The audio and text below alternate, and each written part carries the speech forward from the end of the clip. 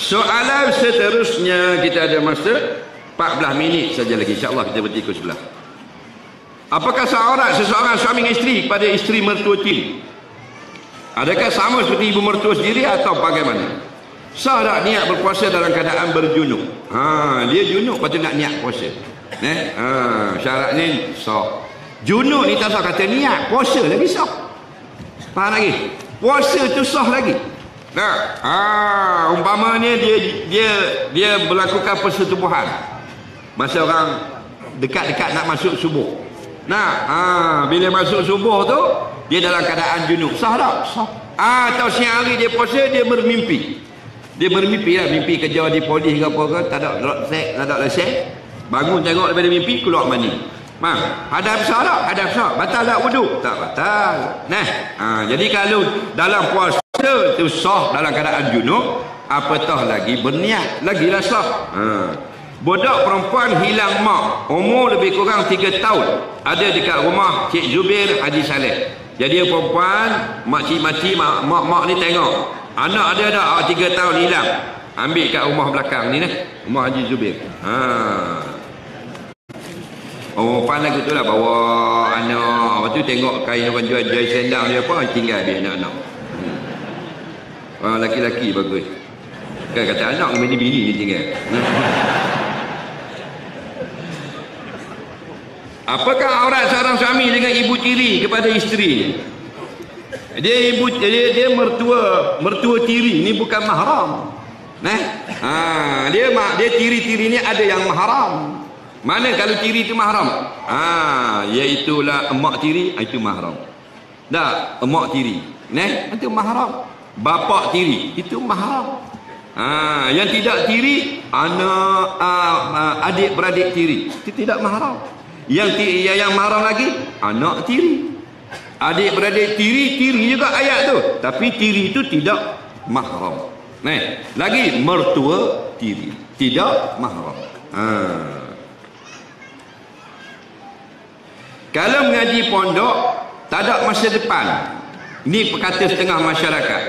Apa pandangan ustaz pula? Betul lah orang yang berkata itu tak ada masa depan. Dia kata ada orang kata kalau anak mengaji pondok tak ada masa depan. Kita jawab betul lah. Orang yang kata tak ada masa depan tu tak ada masa depan. Ha, bab masa depan ni vision. Benda yang baik, nasib yang baik, dia masa hadapan. Maka kalau orang yang anggap belajar agama tak ada masa depan, orang ni orang macam mana? Orang yang tidak beragama. Orang yang tidak beragama, orang yang tak suka agama, masuk syurga, masuk neraka. Faham tak? Ha, kita tak tahu tetapkan. Tapi kita tahu dah alamat. Dia tiap-tiap benda dia ada alamat. Jin alamatnya titik di bawah. Ha, ha tak ada titik. Kau titik di atas. Tak suka agama, alamat, go to hell. Ha, tak ada masa depan. Masa depan gelap. Neh. Ha. Ramai dulu. Kadang-kadang lima beradik mengaji sekolah orang putih. Yang keenam yang bungsu tu nak atas sekolah pondok. Oh, marah juga. Eh Mina aku dengar anak tak nak usul sekolah pondok betul tak? Ah betul lah maklum eh tapi dah ada lima orang dah duduk dia duduk belajar ni orang putih. Ha ni seorang ni nak bagi jadi ustaz nak jadi tok imam. Hang ni tak kesian kan budak-budak. Dia nak makan apa? Timah hai keluar pondok nak makan apa tak ada sijil. Jawab dia makan nasi lah bodoh.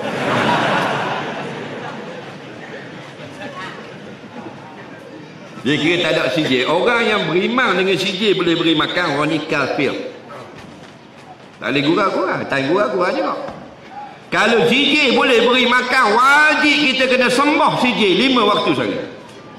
Kerana boleh beri makan ini sifat uluhiyah. Kita umat tauhid semua satu. Yang beri makan Allah, yang menghidup Allah, memati Allah, dan yang memajukan negara Allah, yang menaikkan ekonomi Allah yang boleh menjahanamkan negara Allah ha.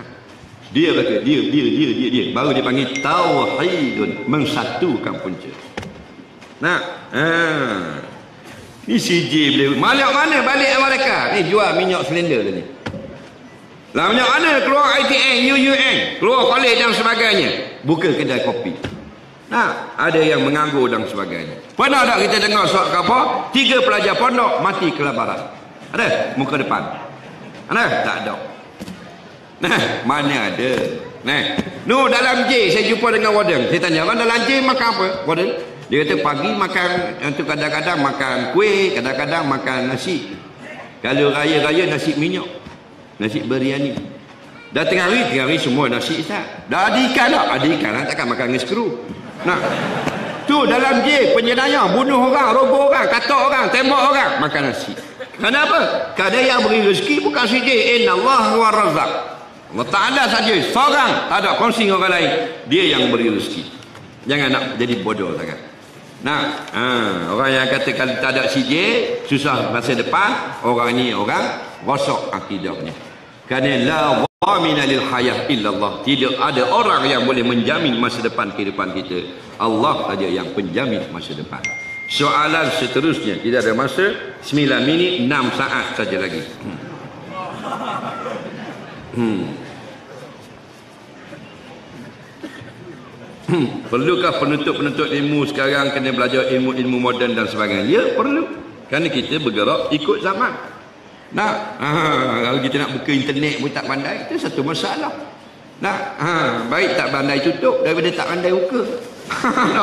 dan kau ambil ilmu, dia pandai buka tapi tutup tak pandai. Nah, dia kata yang yang abang nak pergi kerja tolong tutup internet. Kan? Tak pandai bang, tak pandai. Lala cabut sui kipas. Laki balik tengok muka dia. Eh, saya cabut dah tadi. Ha, dia nak mana? Muka comel bongok. Dah. Ha. Tapi bukan perempuan yang si lah. Ha, tu orang gurun. Dah. Ha, jadi ilmu itu perlu. Nah, ha, perlu. Ilmu-ilmu moden itu perlu. Ada serpak ratus orang pelajar pondok yang nak belajar nak balik daripada Jawa Timur pesantren balik ke Kedah tak dengan tak satu kapal terbang. Ha, ha, ya, catat satu kapal terbang. Faham lagi? Ha, ni balik raya, pilihan raya. Ni 400 pelajar Kedah yang duduk di pesantren di Bogor, Jawa Timur. Ha, sudah 20 tahun belajar di sana nak balik ke Malaysia. Sewa kapal terbang jet. Tiba-tiba pilot pula uzur tak boleh bawa. Bang, pilot Pilot takkan mengaji pondok. Pilot tak. Ha, mengaji orang putih lah. Bawa kapal terbang. Tak. Bukan bawa. Itu grab. Bang, bawa kapal terbang. Bawa lori senang. Nah, ha, steering dengan kaki pun jalan. Nah, ni bawa kapal terbang. Dia sakit tadi bawa. Lepas tu habis susah. Pelajar-pelajar pondok semua bingung. Bila. Alamak, nak buat macam mana ni? Kita ni ni. Kalau tidak kapal terbang ni kena sampai awal sana ni. Nak, kita kena berlepas ni. Booking berlepas semua. Tak apa katanya ketua pelajar. Sebab di antara kita ada seorang babong. Ha, dia ni sangat warak, sangat zuhud. Jadi kita harap dia tolong bawa lah kapal terbang. Hampa nak naik tak? Aku lari. Nampak? Memang mampu ya. Nampak tak? Faham lagi? Mana perlunya ilmu-ilmu moden itu. Nak. Ha, bukan kita, kita nak kena kena faham. Islam agama yang universal.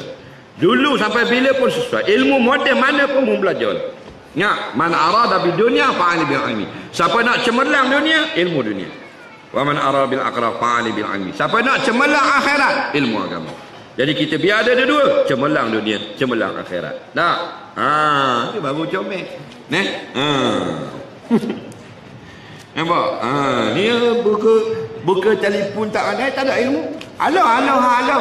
Tak dengar. Halo. Halo, tak dengar. Tu remote TV. Bukan remote TV. Tok guru orang dah remote TV cakap. halo. Dah tak kenal telefon. Ha, ha, jangan kalut sangat. Ha, soalan seterusnya. Apa kau kita boleh binatang dekat rumah orang lepas tu busuk sampai rumah-rumah orang. Tangkap tuan binatang tu masuk dalam kandang. Dalam Islam la darar. Tak boleh mudarat orang lain. Faham lagi? Ah, boleh lembu sampai habis orang termutah habis tak boleh nak makan, ambil dia selam dan lentai lembu tu. Tak boleh. Mudarat orang tak boleh. Faham lagi? Atas kesenangan kita dapat lembu jual 4-5 ribu sekor, atas kita dapat senang, atas orang lain dapat susah. Haram. Kita dapat projek ujung kampung, lalu ke pondok, lalu ke masjid, lalu ke rumah orang. Projek depan 2 juta buat rumah. Dalam ulang-ulang projek itu selama setahun setengah, rosak habis jalan kampung orang. Wajib kena ganti. Mana ada ganti? Berdosa sampai mati. Tu debu-debu habis kotor cermin orang lori dan angkut tanah. Wajib kena basuh bila siap projek. Ada tak kontraktor masuk? Dah. Tu ahli maksiat. Nampak? Dia tak faham hak-hak orang. Ha? Jadi dia akan dapat untung projek 2 juta, untungnya 300 ribu. Atas kesenangan dia dapat 300 ribu, orang kampung susah. Faham? Ha, ini yang Nabi tak mau. Ne? Ha, jangan nak bela-bela boleh. Bela lembu, lembu litah jalan, orang langgar, pecah kereta 500 ringgit, tuan lembu kena ganti. Pasal apa? Pasal laluan tu laluan kereta, bukan laluan lembu. Tapi kalau lembu itu dilanggar di rumah lembu, kereta tu terbabah, masuk dalam kandang lembu. Lembu tengah nak baca surat khabar. Mau melanggar, patah kaki lembu. Tuan kereta wajib kena ganti. Nah, ha, tu adil. Soalan seterusnya. Wuduk suami isteri adakah batal bila sentuh? Ha, jawabnya batal. Batal dengan mana tu? Batal empat mazhab. Syafi'i, Hanafi, Maliki, Hamali batal. Dah kita dengar tak baca itu mazhab lain mazhab Facebooki. Mazhab yang kelima Facebooki. Ramai yang pandai daripada alim ulama. Empat mazhab batal. Allah kata aula masdumun nisa. Ha, atau kamu menyentuh wanita cuma mazhab lain mengisyaratkan dengan ada rasa. Ha, bila sentuh ada rasa, tak ada rasa tidak batal. Dalam mazhab Syafi'i mutlaqan. Bahasa tak rasa bila sentuh tak berlapik batal. Mana sentuh batal pada empat mazhab. Cuma tiga mazhab syarat dengan rasa. Faham lagi? Ha. Kita sentuh mak kita ada perasaan tak? Tak ada lah pasal dia mahram. Tapi sentuh bini ada rasa. Ada rasa? Ah mana? Tak ada rasa, rasa dia panggil. Faham? Tak ada rasa, pondan. Nah, siapa sini sentuh perempuan tak rasa apa-apa. Kalau tidak dia suka sama laki-laki, mati pucuk dia. Faham lagi? Ha, jadi kebanyakan rasa batal wudu. Cuma kita bagi tahu tu khilaf. Eh? Ini dua mazhab, satu mazhab yang lagi atau kau yang paling kuat buat isyarat dengan ada syahwah. Ha, mazhab Syafi'i aula mastumun nisa terus batal. Faham lagi? Ha. Tapi kalau kita ambil wuduk nak tidur tak apa, dia tak batal dah. Ada orang dia ambil wuduk nak tidur, lepas tu naik atas katil, kena pula kaki bini. Turun pula ambil wuduk. Lalah sampai pukul 3 pagi. Bila-bila-bila 173 kali ambil wuduk. Bini dia bengkak habis muka. Dia tumbuk. Faham lagi? Sentuh dia apa dah. Hanya aku kata jangan duduk dekat sangat. Aku ambil wuduk pada. Bau tumbuk. Nak? Ha. Jawabnya tak apa. Dah mau ambil wuduk untuk tidur. Tak batal dah pahalanya. Kalau sentuh bini, batal lah wuduk. Tak lewat sebayang dah. Kalau belum tidur. Tapi pahala sampai awak bangun nanti. Tidak batal. Soalan seterusnya.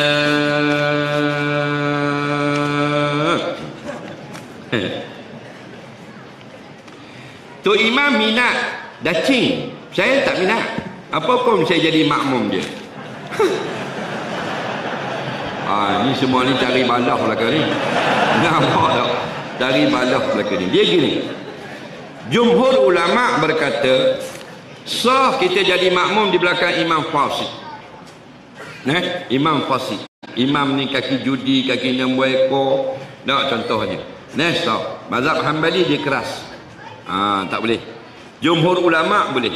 Imam Fasik. Semayang sah. Yang tak boleh juru nikah Fasik tak boleh. Nah, ha, juru nikah tak boleh pasti. Nah, imam sembahyang boleh pasti. Tapi kalau ada imam yang lain, afdal kita ikut imam yang lain. Makruh ikut imam pasti. Nah, contohnya imam tu mm, main judi ke, nah, bila dia rokok jatuh nombor ekor. Nah, jadi bila imam masih imam ada orang tak berani nak sembang. Bila imam balik masih masih hidup bunyi. Nampak aku baru tahu imam ni kaki judi pun semua. Eh tak baik yang kata lagu tu. Dak tadi rokok aku tengok depan aku. Tiket nombor ekor jatuh tiga empat tepi. Nampak tak? Ha. Kata Tok Siap, eh, tak baik. Kita mungkin yang nombor resit Maidin ke apa ke. Dak. Tok Siap kata, dak, dak, dak, dak. Memang nama ekor aku tahu, aku main juga. Dak. aku lama duduk main. Dak. Ha. ha. Ini akhir zaman. Betul tak? Ha. Jadi kalau kita ni duduk-duduk di masjid dacing ke surau dacing, tak ada masalah. Jangan kita masuk dalam firman Allah wala tarkanu ilal ladzina zalamu. Ha, jangan. Jangan hati kamu tamilul qalbu. Nampak? Jangan hati kamu menyebelahi orang yang zalim. Kamu jadi ahli neraka nanti. Ha. Okey? Ha, dia gitu. Soalan yang terakhir pada pagi ini.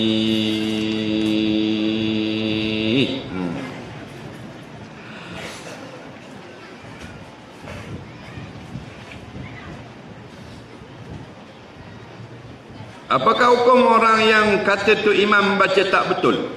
Dan kan imam baca betul?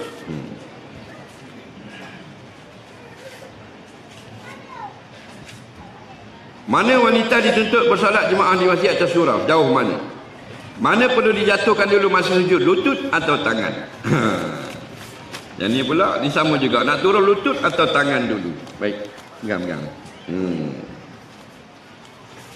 Imam baca dalam semayang Ada makmum kata tak betul Siapa yang betul Manalah aku tahu Sebab kadang-kadang imam betul Makmum yang tak betul Kadang-kadang memang makmum tu betul Imam memang tak betul Kadang-kadang dua-dua betul Tapi buat-buat tak betul ha, ha, Jadi kena pastikan Al-Imam Syafi'i kata sebaiknya Lima orang itu khabar mutawatir Maka kita kumpulkan biar lima orang yang tahu hukum Quran mendengar kesalahan tersebut. Jika sahih, maka kita tegur imam. Mana? Di belakang khalayak ramai. Impamanya imam itu memang tak boleh sebut huruf ra. Ghairi. Ghairi maghdu. Ha, ha, jadi kita dengar patutnya ghairi. Betul tak? Ghairi. Tapi imam ghairi ghairil maghdubi alaihim eh kumpul lima orang yang telinga tidak pekak yang tahu hukum dan huruf-huruf hijaiyah sahih lima-lima orang sahih ghairi ha beritahu imam jangan depan orang ramai malu imam dengar eh imam mu tahu tu jangan gitu nah biar tak ada orang bawa imam pergi kedai nasi biryani bagi makan kenyang-kenyang tegur bila perut kenyang dah tegur lain sikit Perut lapar, marah tu imam. Faham lagi? Ah, rupa-rupa betul sungguh makmum. Dia tak boleh sebut huruf ra. Tak? Ah, tak pelik lah. Jadi kita rasa latih dia biar dapat sebut atau kita ganti dengan orang yang lain. Ha, tu cara dia. Sebab tak pelik. Ni, ramai orang tak boleh sebut huruf ra dengan betul. Pergi guru mana pun, pondok mana pun sampai luar negara pun tak jadi ghairil ghairi juga ghairil ghairi ghairil ghairi pergi di tengah ni pula ghairil ghairi pula dah mari mana nampak ada tak orang lagu tu. Ada. Dalam cakapan luar pun dia lagu tu juga. Dia tak boleh sebut huruf ra dengan betul. Marilah marilah jadi lagu tu pula. Dia sebut se je betul dalam hidup dia. Brim. Oh, tu betul. Nampak? Berim tu bukan duit kerajaan ha? duit rakyat. Ambil dan pulang balik. Tapi ambil banyak pulang balik sikit. Kan kata dia baik pula. Nah ha, jangan bodoh sangat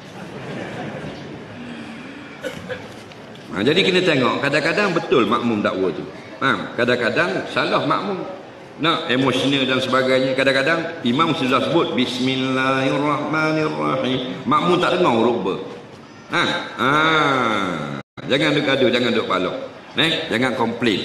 Ha, melainkan sahih. Bila sahih kadang-kadang makmum betul. Kalau bacaan pendek panjang tak boleh komplain. Ha, ha, pendek panjang itu hal dia masing-masing. Eh? Panjang sangat baru boleh komplain. Eh? Ha, asal isyak baca yasin. Apa? Mayang isyak baca yasin. Mayang zuhur baca al-amina uh, an-nisa. Oh lelah ha. tak masuk jabat orang. Soalan yang terakhir daripada kertas yang terakhir. Kok mana kita nak turun dulu? Lutut ke kaki, eh, tangan dulu? Nah, masa kita sembahyang. Muslimat sembahyang atas tidak sama. Nah, ha, muslimat ke laki-laki ke sama saja. Nah, sallu kama raaitumuni usalli. Sembahyang macam aku sembahyang. Apa yang kamu tak mampu diberi maaf. Nah, orang yang terkentut sepanjang hayat satu minit 800 kali kentut. Sah semayang. Asalnya tidak sah. Tak? Tapi orang ini masuk dalam masyarakat. Masyarakat luar biasa. Nah, dalam keadaan biasa ni lah, kena-kena ikut rukun